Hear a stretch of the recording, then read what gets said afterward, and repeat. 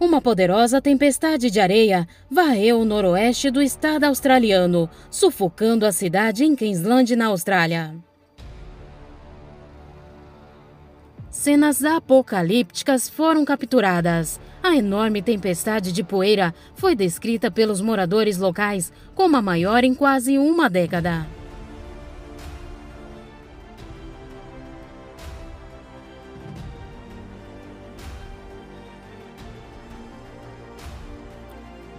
O grande paredão de poeira avançou em direção à cidade de Boila, no interior de Queensland.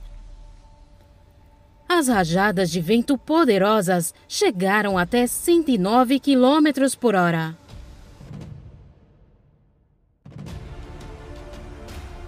A frequência com que vem ocorrendo esses fenômenos raros é preocupante pois a tempestade de poeira levanta todo o material solto na superfície, como vírus, esporos, ferro, mercúrio e pesticidas.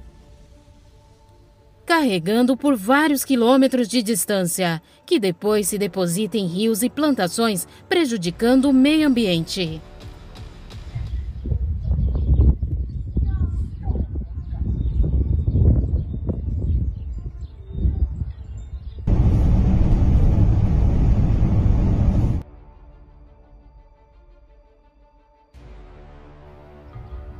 Aqui no Fatos Notícias você fica por dentro de tudo que acontece no Brasil e no mundo.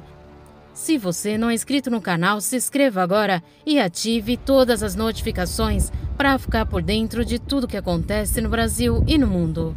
Muito obrigada por assistir até aqui e até o próximo vídeo.